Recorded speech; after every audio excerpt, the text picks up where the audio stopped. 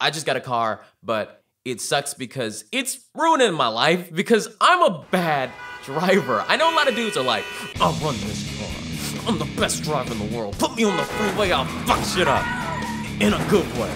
And I get on the road and I'm like, please don't let me hit a little white girl. Please. It's been about a week now and it hasn't happened yet because I know if I do, I'm gonna be the new OJ.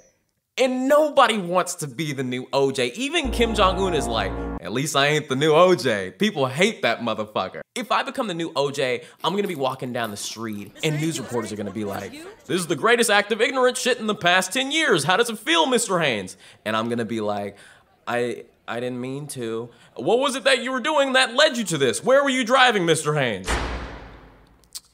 I was, I was trying to get to the Chipotle and I guess so so was she, and then just boom, psh, ah! So I'm sorry, my bad. It won't happen again.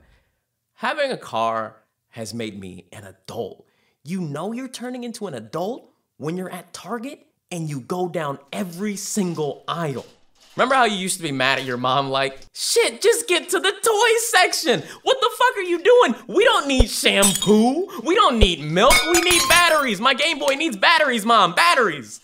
The other day, I was at Target and I saw a stool, and I swear to you, I swear, I as a person said, Oh my God, I love it, I need it. Then I went and looked at it, picked it up and inspected it, looked at the price, and decided I didn't want it. Who am I now?